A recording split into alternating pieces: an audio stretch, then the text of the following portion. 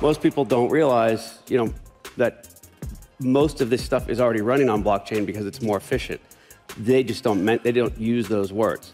What will ultimately happen, my belief, is the most inefficient part of Hollywood is the accounting, um, the royalties and the residuals. So it's how actors get paid, how writers get paid, how producers get paid.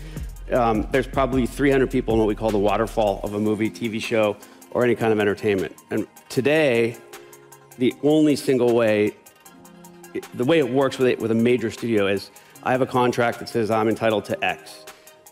I can't audit for two years. So if the studio says, oh, that movie didn't make any money, you don't get paid, I have to wait two years. Then there's two auditors to pick from, and they always have their 10 big guys that go first, like a Spielberg or a, you know, uh, a Geffen. And then in maybe four years, I can audit, and then they offer me some settlement. Mm-hmm. Once blockchain is put in there and people realize in real time, you can know exactly what you, you, you're supposed to make. There's absolutely no middlemen. There's no room for fudging. And it's literally like as a transaction comes in, I see it and it can hit my account.